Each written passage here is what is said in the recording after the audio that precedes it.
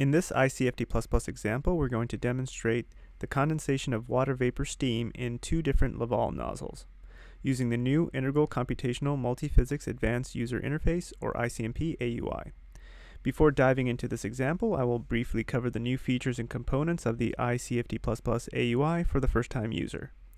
For a more in-depth understanding of the ICMP AUI features common across all Metacomp software, please click on the ICMP AUI demo link popping up on the left side of the video or refer to the ICMP AUI section of your ICFD++ documentation. This ICFD++ interface is composed of the menu bar, where the mouse is currently moving, the toolbar, which has the shortcuts to the commonly used functions and visualization controls, the canvas, in which a geometry or solution is displayed, and the notebook, currently showing that you are in a CFD++ simulation setup mode. Within the notebook, ICFD++ has its action tree, or setup wizard, which will guide you logically through the various steps of the problem setup, and one or more information trees, in this case, the groups and boundary families tree, and the boundary conditions tree. Corresponding to each item or step in an action tree is its action panel, where the user is given the relevant choices based upon choices made in previous and current panels. All panels are dockable and resizable.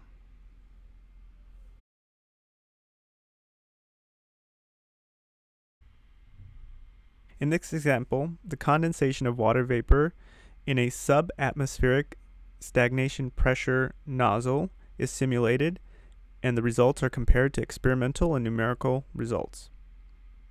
The use of the Eulerian dispersed phase condensation module in CFD++ is demonstrated. For this case, the entire nozzle is filled only with steam, water vapor, and no other species exist in the gas. First, we will identify the working directory. Once this has been selected, we will press OK at the bottom of this action panel to proceed. Next, in the Load Input Grid Info action panel, we will say yes to analyzing the grid files and reading in the BC family file. We'll press OK at the bottom of this action panel to proceed. Once the grid analysis has completed, a grid information panel will pop up giving information about the grid that's been loaded in. This particular grid is a 2D grid with approximately 8,900 quadrilateral cell elements and four boundary selectors. We can press OK at the bottom to close this panel. Next, we are taken to the Cell Types and Volumes action panel. The inputs for this panel have automatically been entered based on the grid analysis done in the previous step. So we can press OK at the bottom to proceed. In the General Problem Definition action panel, we will choose to solve a general fluid problem and we will not be using any sort of preset problem class wizard, so we'll keep that option as no, and press OK at the bottom of the action panel to proceed. Next, in the CFD problem definition panel, for the fluid type, we will be choosing multiple phases. The fluids will be miscible, so we'll keep that as yes. For the secondary phase, we will be using the Eulerian dispersed phase model only, so we will choose dispersed phase only. The primary phase fluid will be gas, and there will only be a single primary phase species. The primary phase flow will be compressible. We'll keep that as yes. The type of gas will be real gas. And the flow speed will be mostly above Mach 0.5. The flow will be viscous, so we'll keep that as yes. The flow will also be turbulent, so we will also keep that option as yes. There will be no radiation heat transfer in this problem, so we will keep this option at the default no. The type of simulation will be a steady state computation. Once these inputs have been entered, we can press OK at the bottom to proceed. We will not be applying any additional specifications for this problem, so we can keep all of these options at their default no state and press OK at the bottom to proceed. In the equation properties action panel, The equation of state for the primary phase we will choose as ideal gas. We will keep the default two equation realizable K epsilon turbulence model. We will not be having any passive scalars, so we'll keep that as no. The dispersed phase model, we will choose Eulerian dispersed phase. We will only have a single dispersed phase species, so we'll keep that as the default 1. For the additional equations for the EDP, we will choose energy and number density, since we will be having phase change. We will not be turning on the diffusivity for the EDP, so we'll keep that as no. Once these settings have been applied, we can press OK at the bottom to proceed. We will not be applying any physics source terms to this problem, so we can keep that at the default no and press OK at the bottom to proceed. In the reference quantities action panel, we are told that we will be running this case in dimensional mode and in SI units. We will accept these options and press OK. In the fluid properties panel for the primary phase, we will choose two temperature ranges for our species. Our primary phase species will be water vapor, so we will scroll down the database to find H2O water. We will highlight it with a single left mouse click. And then holding down the left mouse button, we will drag and drop this to our hidden species tree. And that will be our sole primary phase species in this problem. Once this is set, we can press OK at the bottom to confirm and proceed. Next, in the Eulerian dispersed phase properties action panel, for the fluidized density reference value based on, we will choose whole volume.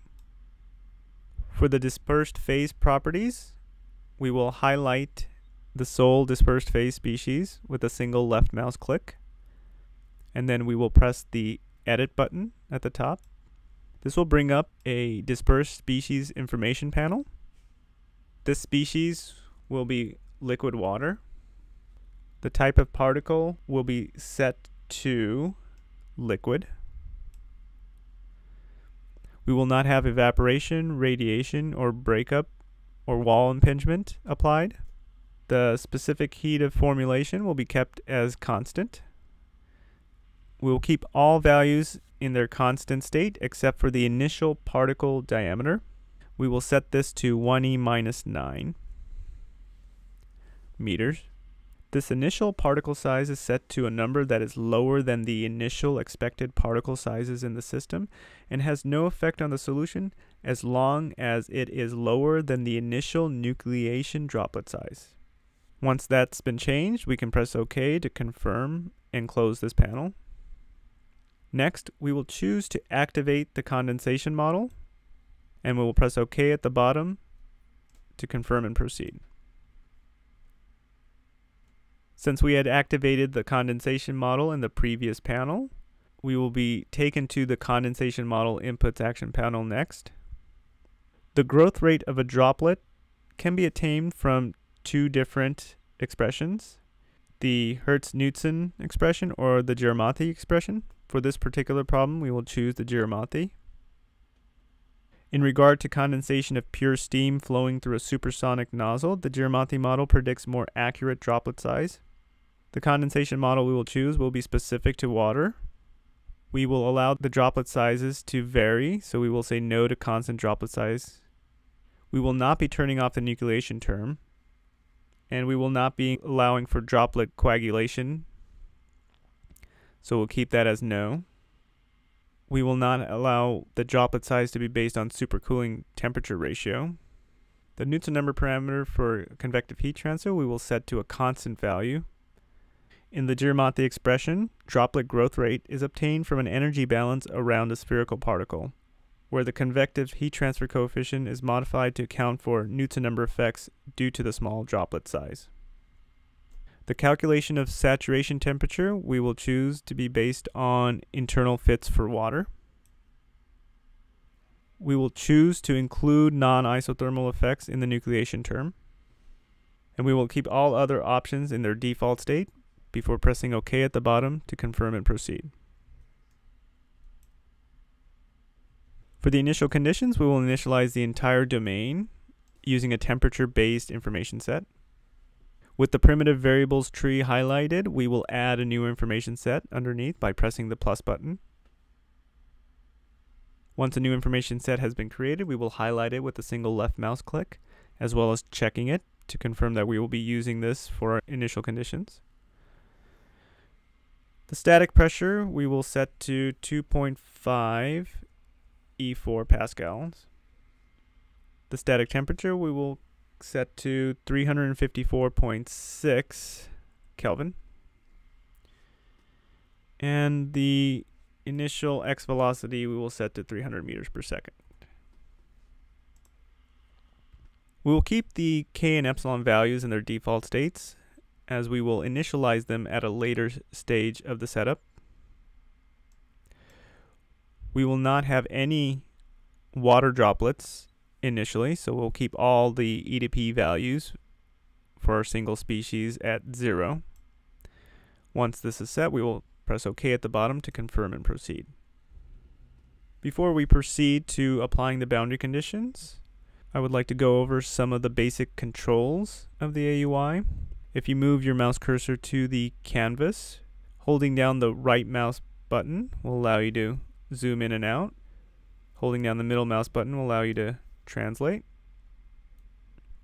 And the left mouse button will allow you to rotate.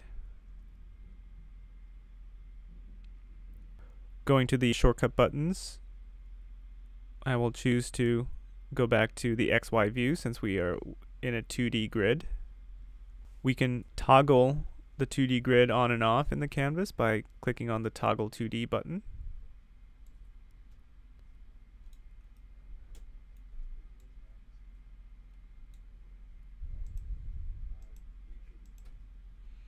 In the boundary families tree, we can choose to hide and show the boundary families with a single left mouse click on the grid icon next to each boundary family. Now going back to the boundary conditions action panel, we will proceed with applying the boundary conditions for this problem. The first boundary condition we'll be applying will be for the wall boundary family. So we will go ahead and highlight this boundary family with a single left mouse click. After that's been highlighted, we will hold down the left mouse button and we will drag and drop this into the wall category of the boundary conditions tree.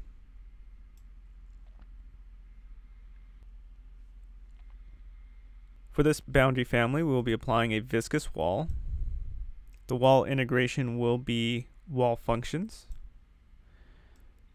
It'll be an adiabatic wall, and it will also be stationary with respect to mesh motion. And since there is no mesh motion in this problem, this wall will be stationary. Once that's been applied, we will not be applying any additional modifiers, so we can press OK at the bottom of this panel to confirm and close. Next, we will proceed with the second boundary family, the symmetry boundary. We will once again highlight this with a single left mouse click, hold down the left mouse button, and drag and drop to the symmetry category in the boundary conditions tree.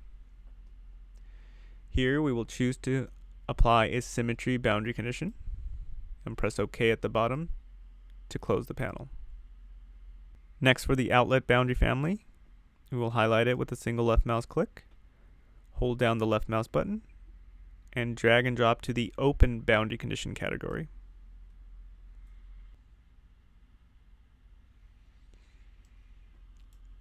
For this boundary family, we will be applying an outflow only boundary condition. We're expecting supersonic flow at this exit so we will not be imposing a boundary condition. So we'll uncheck that and just allow for supersonic outflow. We'll press OK to confirm and close this panel. Finally, we will highlight the inlet boundary family with a single left mouse click. We will hold the left mouse button and drag and drop again to the open boundary condition category but we're going to be creating a new open boundary condition, so we will make sure not to place it in the same boundary condition as boundary condition 3, but rather in the main open category. For this boundary condition, we'll only be applying an inflow only boundary condition. The type of information will be pressure and temperature. We're going to be applying a reservoir condition using stagnation pressure and temperature. We will need to create a new information set for this boundary condition, so we will click on the plus button once a new information set has been created, we will highlight it with a single left mouse click, as well as checking it. For the stagnation pressure, we will be applying 2.5 E4 pascals and a stagnation temperature of 354.6 Kelvin.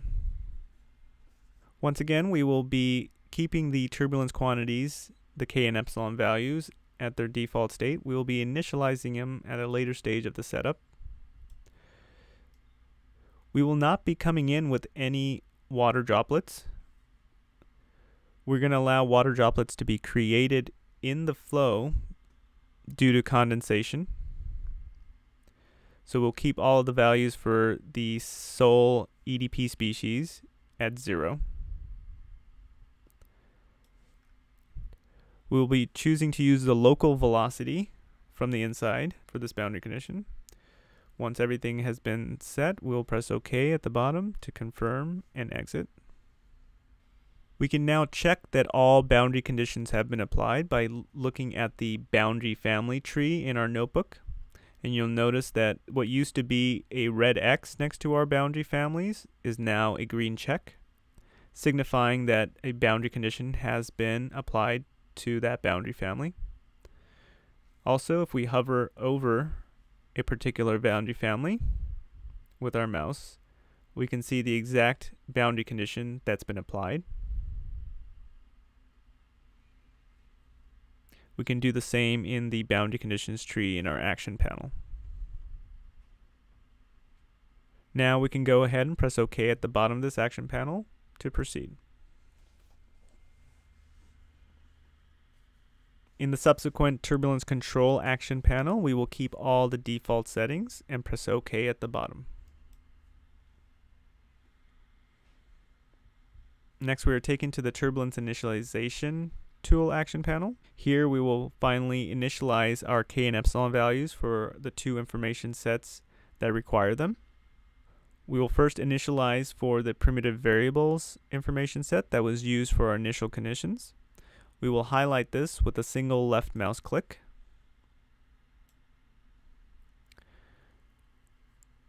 Next, we are going to bring up the initialization tool with a right mouse click. For this particular problem, the turbulence length scale is known, so we'll keep that as yes. We will not use a suggested turbulence level value. Instead, we'll be applying our own value of 2e minus 2. For the length scale, we will choose to apply 1e minus 3 meters. The free stream velocity for our initialization has automatically been inputted by the information set. So once these inputs have been applied, we will press OK and the computed k and epsilon values have been automatically entered into our information set. Next, we will choose to copy these same k epsilon values from our initial conditions information set to our inlet boundary condition information set. We can do this by left mouse clicking the copy informations button. This will bring up a panel where we first choose the source information set, which will be the initial conditions information set that we just used to initialize our turbulence values. And the destination will be the information set for the inlet boundary condition. Next, we'll hit apply and then press OK.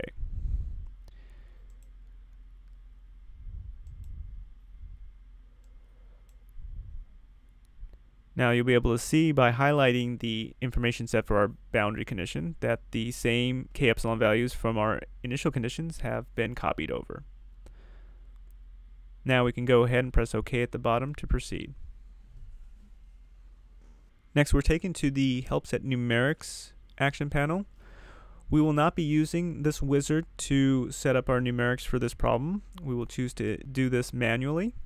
So we can keep both options at no and press OK at the bottom to proceed. In the Riemann Solvers action panel, we will be applying some additional minimum dissipation. Since this will be a supersonic flow, we will apply a pressure switch and we will choose a supersonic pressure switch. We'll keep the default values for this pressure switch and press OK at the bottom to proceed. Next in the simulation strategy integration action panel, we will be starting this computation from scratch. So for the option of is this a restart, we will keep it as no. The integration type will be implicit. For the number of global steps for this run, we will enter 1500 and we will choose to have an 8 order magnitude drop of convergence before termination based on convergence is reached. In addition to this, we will expand the advanced controls options and we will enter a minimum number of steps for this run. So basically, we want this computation to run at least a thousand steps, even if an 8 order magnitude convergence drop has been reached prior to this. Once all of this has been entered, we can go ahead and press OK to proceed. Next in the time integration control action panel, we're going to set up a CFL schedule going from 1 to 20 over the first 100 steps, 1 to 100.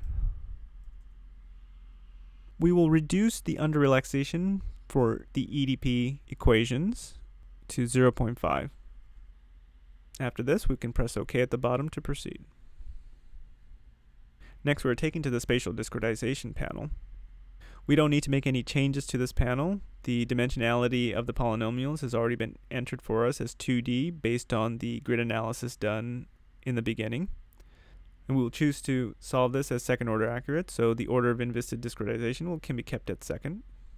No other changes need to be made, so we can press OK at the bottom to proceed. Next in the neutral plot file options action panel, we're going to the output options pull down menu and go to the category of EDP.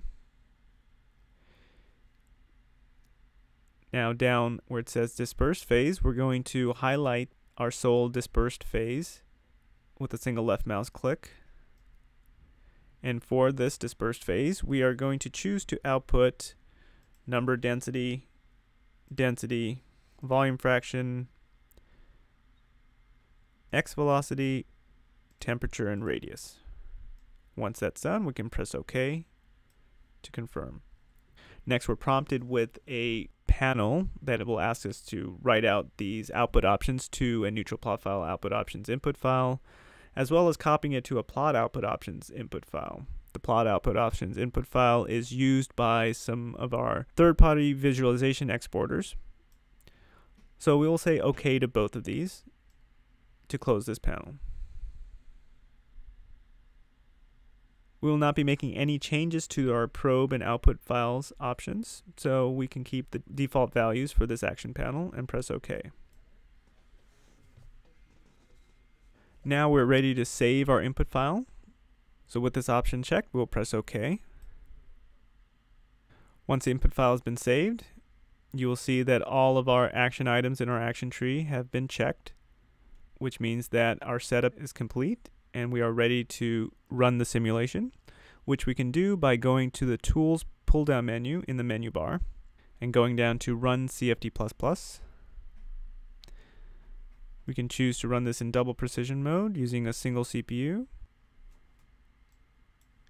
And by clicking on the Run button in our tool runner, we can proceed with the simulation.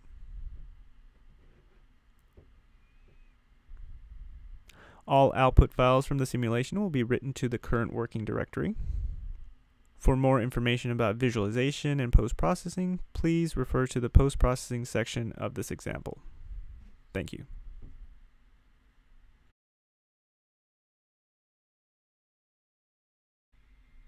In this example, we will be simulating the condensation of water vapor in a high-pressure Laval nozzle. The results will be compared to experimental and numerical results. The use of the Eulerian dispersed phase condensation module in CFD++ will be demonstrated. For this case, the entire nozzle is filled with steam and water vapor and no other species. First, we'll be selecting the working directory for our simulation. Once we've selected this, we can press OK at the bottom of this action panel to proceed. Next, in the Load Input Grid Info action panel, we will say yes to analyzing the grid files in our current working directory, as well as yes to loading in the BC family file. We can then press OK to proceed with the analysis. Once the grid analysis has completed, a grid information panel will pop up, giving information about the grid that's just been read in. This particular grid is a 2D grid with approximately 7,000 quadrilateral elements and four boundary families. We can press OK at the bottom of this information panel to close it. Next in the cell types and volumes action panel, all the necessary inputs have automatically been entered for us based on the grid analysis done in the previous step. We can proceed by pressing OK at the bottom of this action panel. For this particular example, we'll be solving a general fluid problem, but we will not be using any of our preset problem class wizards, so we'll keep that option as no, and press OK at the bottom to proceed. In the CFD problem definition action panel, for the fluid type, we'll be choosing multiple phases, since we will have both water vapor and liquid water droplets in this simulation. The fluids will be miscible, so we'll keep this option as yes. For the secondary phase, we will choose to treat it as a dispersed phase. For the primary phase, it will be a gas. And we only have a single primary phase species, so we'll keep that as single species. The primary phase will be compressible, and the type of gas will be a real gas. The flow speed of the primary phase will be mostly above Mach 0.5. The fluid is viscous and the flow is turbulent, but we will not be solving for any radiation heat transfer, and the simulation type we will solve in steady state mode. Once these options have been entered, we will press OK at the bottom to confirm and proceed. We will not be applying any additional specifications for this problem, so we'll keep all of these options in their default no state before pressing OK at the bottom of this action panel. In the equation properties action panel, the equation of state for our primary phase will be ideal gas. The turbulence model used will be the default two equation realizable K epsilon model. We will not be defining any passive scalars, so this option can be kept at no. And for the dispersed phase, we will be choosing the Eulerian dispersed phase model, EDP and there will only be a single dispersed phase species, so we'll keep that as 1. The additional equations for EDP, we will add energy and number density since we will be having phase change, and we will be allowing the droplets to increase and decrease in size. We will not be applying any diffusivity for the EDP, so we can keep this option as no. Once these settings have been applied, we can press OK to proceed. We will not be applying any physics source terms to this problem, so we'll keep this option as no and press OK at the bottom of the action panel. In the reference quantities action panel, we are told that we're running this in dimensional mode and that the unit system will be in SI units. We will press OK to proceed. Next, in the fluid properties for the primary phase, we will choose two temperature ranges, and then we will go ahead and apply water vapor as our sole species. We will expand the database and scroll down and find H2O underscore water. And we will highlight this with a single left mouse click. Holding down the left mouse button, we will drag and drop to the hidden species tree on the right This will apply water vapor properties as our sole primary phase species. We will not be applying any additional settings, so we can press OK to proceed. Next in the dispersed phase properties panel, we will change the fluidized density reference value based on option from inlet to hole. We will highlight the information set for our sole dispersed phase with a single left mouse click, and then we'll choose to edit it by pressing the edit button at the top. This will bring up the dispersed phase properties for this species. This will be water. And the type of particle will be liquid. We will not be allowing for evaporation, radiation, secondary breakup, or wall impingement, so all these options can be kept at no. The specific heat of formulation will be constant. The initial particle diameter we will choose to change to 1e minus 9. This initial particle size is set to a number that is lower than the initial expected particle sizes in the system and has no effect on the solution as long as it is lower than the initial nucleation droplet size. One additional thing that we will change is that we will increase the maximum particle temperature from the default 373 Kelvin to 533 Kelvin. Since the flow in this case has high pressure and temperature values, it is necessary to increase the maximum particle temperature. Once this change has been made, we can press OK to close this panel. Next, we will choose to activate the condensation model. Since we'll be allowing the primary phase gas to change into liquid water droplets via condensation. We'll press OK to confirm and proceed. Since we activated the condensation model, we are subsequently taken to the condensation model input action panel. The condensation model type we will choose as Gyarmathy as opposed to Hertz-Knudsen. In regard to the condensation of pure steam flowing through a supersonic nozzle, the Gyarmathy model predicts more accurate droplet sizes. We will choose a condensation model specific to water. The droplet size of the condensation can vary, so we will choose no for the constant droplet size option. We will not turn off the nucleation term, and we will not be applying coagulation, and we will not be basing the initial droplet size on the supercooling temperature ratio. For the Knudsen number parameter for convective heat transfer, we will choose the variable option and keep the default 9.0 parameter for the Knudsen number coefficient. In the Gyarmathy expression, droplet growth rate is obtained from an energy balance around a spherical particle where the convective heat transfer coefficient is modified to account for Knudsen number effects due to the small droplet size. For this problem, we will be including non-isothermal effects on the nucleation term. And for the calculation of the saturation temperature, we will be using internal fits for water. The nucleation rate coefficient we will reduce to 0.1. And the maximum condensation temperature will be increased to 600 Kelvin. All other settings can be kept in their default state, and we can press OK to proceed. In the Initial Conditions action panel, we will choose to initialize the entire domain with the temperature-based information set. We'll create a new information set for this by clicking on the plus button.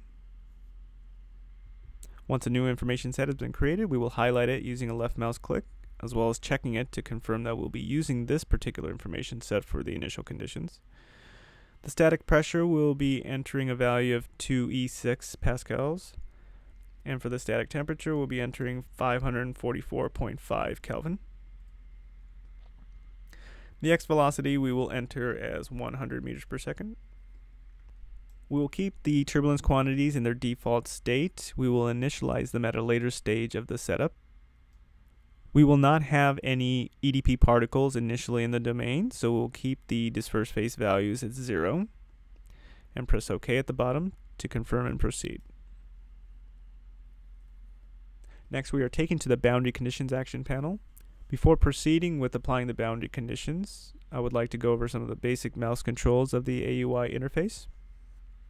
Moving the mouse cursor to the canvas, we can zoom in and out by holding down the right mouse button. We can translate by holding down the middle mouse button. And rotate by holding down the left mouse button.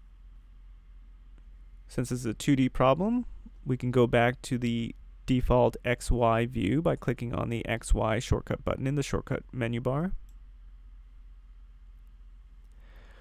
We can also toggle on and off the 2D grid by clicking on the toggle 2D button.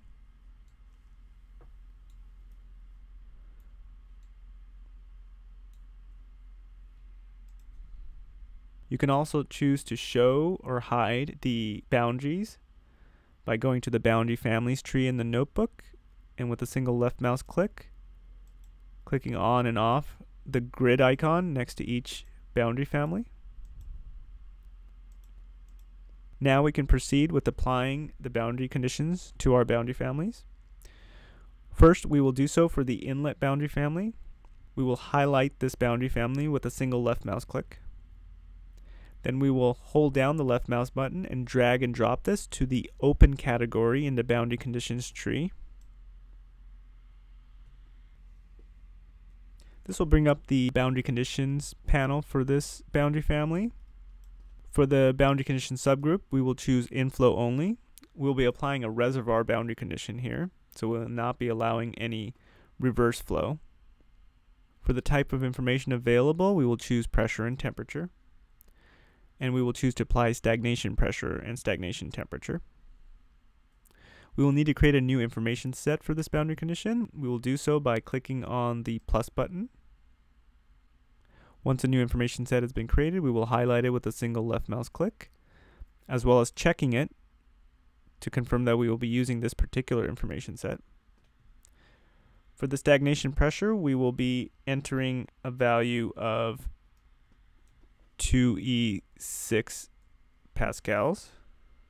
And for the stagnation temperature, we'll be entering 544.5 Kelvin.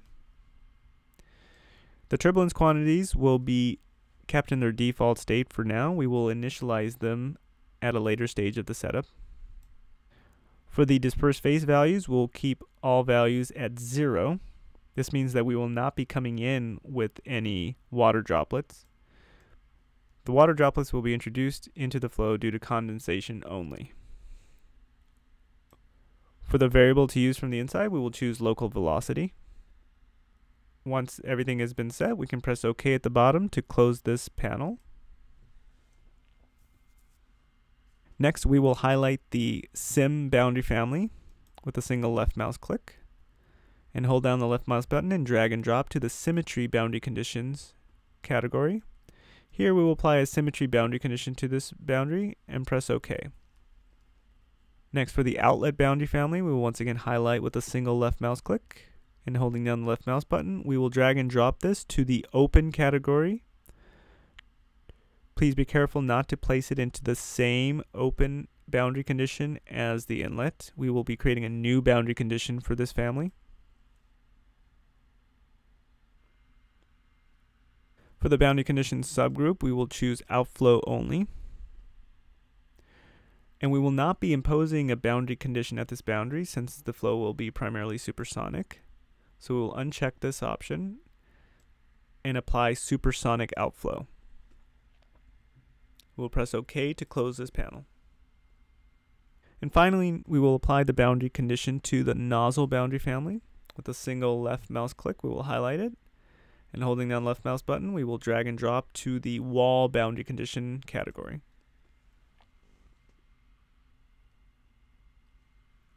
Here we'll be applying a viscous wall They'll utilize wall functions.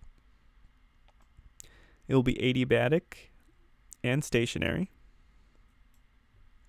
We will not be applying any of these additional modifiers, so we can leave them unchecked and press OK at the bottom. We can confirm that all boundary conditions have now been applied by going to the boundary families tree in our notebook And we'll notice that there's a green check next to each boundary family name. Previously, before boundary conditions were applied to a particular family, there was a red X. The green check signifies that a boundary condition has been successfully applied to this family. Hovering the mouse cursor over a particular boundary family will also display the exact conditions applied. Once this is complete, we can press OK at the bottom of the boundary conditions action panel to proceed. In the subsequent turbulence control action panel, we will keep the default settings and press OK. Next, in the turbulence initialization tool action panel, we will proceed with initializing the turbulence values for the information sets that require them. First, we will highlight the primitive variables information set used for initial conditions with a single left mouse click. Then we'll bring up the initialization tool with a single right mouse click on this information set. In the turbulence calculator panel, we will say yes to the turbulence length scale being known. For the turbulence level, we will choose our own, so we will not use the suggested values. For the free stream turbulence level, we will set as 1e minus 2. For the turbulent length scale, we will choose 2e minus 4. And the free stream velocity has already been entered for us based on the information set that we highlighted. We will go ahead and press OK to compute the new turbulence values. You will see the new computed K and epsilon values in the right hand side panel. Instead of initializing again for the reservoir boundary condition information set, we will choose to copy what we've initialized for the initial conditions to that information set. We can do this by clicking on the Copy Information Sets button. Here we will choose as our source the information set for the initial conditions. And as our destination, the information set for the reservoir boundary condition. We will press apply to do the copy and press OK to close this panel. Now we can proceed by pressing OK at the bottom of this action panel. For this particular example, we will not be using the help set numerics wizard to apply our numerical conditions. We will keep these options as no and press OK at the bottom to proceed. In the Riemann solvers panel, we will choose to apply additional minimum dissipation.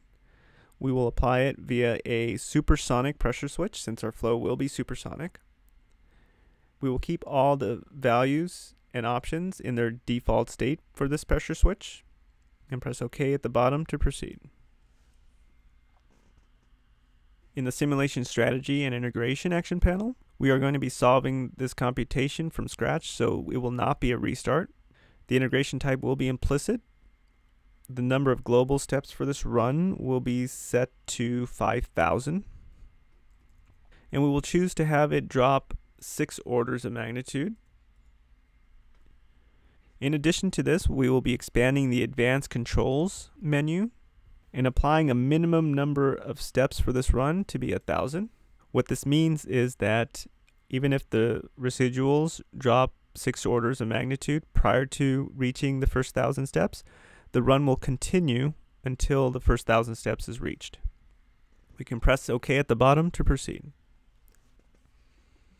In the time integration control action panel, we will be ramping the CFL from 1 to 10 over the first 100 steps. And we will also choose to reduce the under relaxation for the EDP equations from the default 0.67 to 0.5. Once this is done, we can press OK to proceed. Next, we're taken to the spatial discretization action panel. We can leave this in the default state. The dimensionality of our grid has already been entered for us as 2D based on the grid analysis done at the beginning of the setup we can press OK to proceed. In the neutral plot file options action panel, we will go to the output options pull down menu and enter the EDP category. Here we will highlight with a single left mouse click the properties for our sole EDP species and we will choose to output number density, density, volume fraction, x velocity, temperature, and radius. And we'll press OK at the bottom to proceed. Next, we're prompted with writing out these output options into a neutral plot files options input file, which we'll say yes to by keeping the check. And we will also copy this to the plot output options input file, which will be used when, whenever we convert our solution to a third-party visualization format. We'll press OK to close this panel. We'll keep the default probe and output file options and press OK to proceed. Finally, we are asked to save the input file, which we will proceed to do so by keeping this option checked and pressing OK at the bottom of this action panel. Once this is done, you will notice that all of our action items in our action tree now have a green check next to them. This means that we have completed our setup for this problem and are ready to run our simulation. We can do this by going to the Tools pull-down menu in the menu bar and selecting Run CFD++. This will bring up a Run CFD++ panel. We will choose to run this in double precision mode using a single CPU. Once we're ready to run, we'll press the Run button in the Tool Runner. This will write out our standard output into the Tool Runner window. All output files will be written to the current working directory. For more information about post-processing and visualization, please refer to the post-processing section of this example. Thank you.